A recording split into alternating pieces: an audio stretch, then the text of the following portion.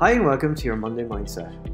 According to Amy Edmondson, a leading Harvard Business School researcher, psychological safety describes perceptions of the consequences of taking interpersonal risks in a particular context, such as a workplace.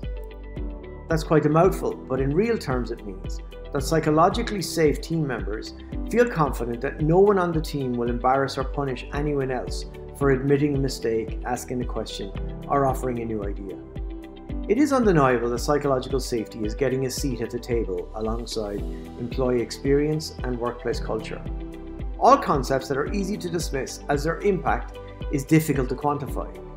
That is beginning to change with the research of people like Professor Paul Zak in the States into the neuroscience of trust and psychological safety in the workplace. His research has dismissed attempts to create culture in an ad hoc way around random perks like gourmet meals or karaoke Fridays or nap pods. These are concepts that are often enthralled to some psychological fad. Quite the opposite. In his research, he has found that building a culture of trust is what makes a meaningful difference. In its 2016 Global CEO survey, PwC reported that 55% of CEOs think that a lack of trust is a threat to their organization's growth. But most have done little to increase trust, mainly because they aren't sure where to start.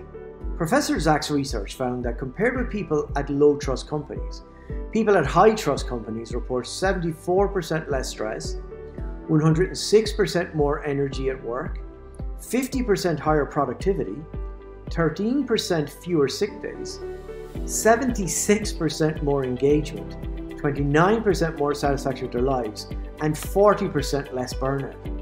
I will focus on Zak's work in more detail in upcoming Monday Mindsets. But for today, I want to talk about the steps we can take in our workplace to increase psychological safety, a key ingredient of a culture of trust in the workplace.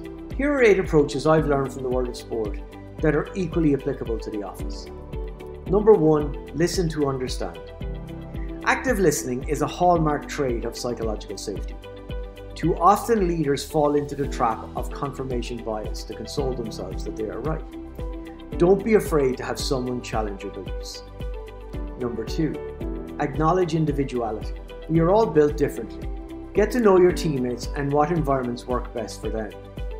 In sport, I have worked with players to create individual warm up and pre game routines. For the majority of players I have worked with, speeches like the Al Pacino Any Given Sunday one inch motivation are a, once in a career kind of thing. The speeches that have carried with them the rest of their lives are the ones where their teammates shared emotion. A great example of this comes from the Belgian World Cup winning hockey team of 2018. I had worked with Belgian coach Craig Fulton within the Irish setup, and when Craig moved to Belgium, he was moving to one of the strongest professional setups in world hockey, who two years previously had won the Olympic silver medal. This is a team who had never won a major final, but went to the World Cup with high hopes, despite a reputation for being mentally brittle under pressure. In the team meeting prior to their semi final versus England, news was shared of the passing of their midfielder Simon Gougnard's father. Gougnard, despite being devastated by the news, decided to play the game as a tribute to his hockey mad dad. The emotion in the team room prior to the game was palpable, and the coaching team decided no motivational speeches were necessary. Instead, the players were given permission to channel their emotions however they felt necessary. The players bonded together and made the game about Gougnard Sr. Craig has said no one would have beaten us on that day. Belgium went on to win the game 6 0 and went on to win their first major title the following weekend, finally putting the choker tag to bed. They are now preparing for the Tokyo Olympics, having added the European crown, with an opportunity to be the first team in history to hold all major titles at once. The key message here is not the sad passing of Gougnard's father, but the psychological safe environment created, which allowed each individual to deal with his emotion as he felt appropriate. Number three, conduct proportional conversations. Well, teams where a manager spoke 80% of the time were less successful than teams who practiced turn taking during discussions. Psychological safety exists when team members feel they have the opportunity to speak in roughly equal proportion to their peers. Graham Henry, the New Zealand All Blacks head coach, has spoken about how he used to give rousing team talks before games. But after a conversation with his team captain Tana Umaga, he realised that those talks were actually for his benefit, not for the team's. The team had been properly prepared, so on game day, he took a step back and let the players do the talking. This created an environment where the players felt safe to take ownership of the game plan. Here are some ideas for conducting proportional conversation during meetings. First off, prepare and share the meeting agenda ahead of time so people can gather their thoughts. Then, assign different team members to run the meetings and rotate it weekly. And finally, consider smaller or one on one settings to continue the conversations with quieter individuals within the team. Number four, speak last. When leaders share their thoughts about a topic and then ask for the team's opinion, it's too late. Resist providing any commentary and seek more clarity by stating phrases like tell me more. Next, identify blind spots together. When leaders invite others into helping identify blind spots, it's an admission to not having all the answers. This bolsters psychological safety. I've seen this many times in sporting environments, where the coach will consult with the players on what they think is the best approach to beat a particular opposition.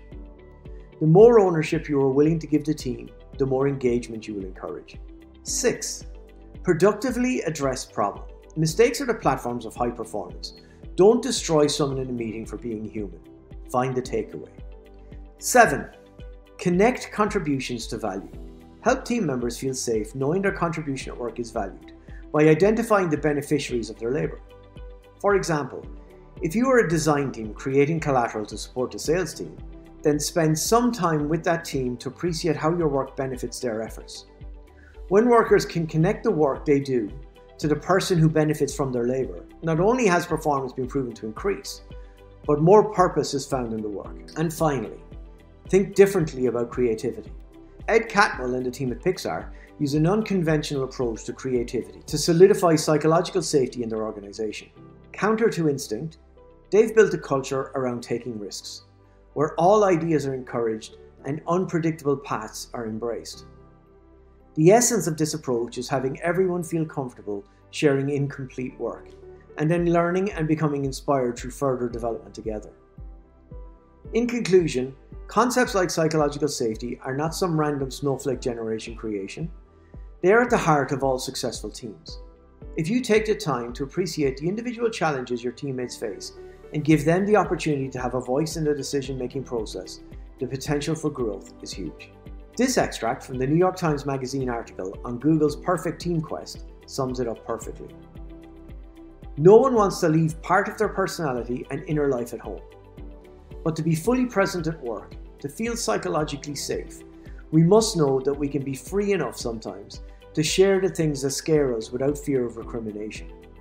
We must be able to talk about what is messy or sad, to have hard conversations with colleagues who are driving us crazy. We can't be focused just on efficiency. For sure, we live in a changing world. But let me ask you one final thing. What one thing can you do today to create a more psychologically safe environment in your team?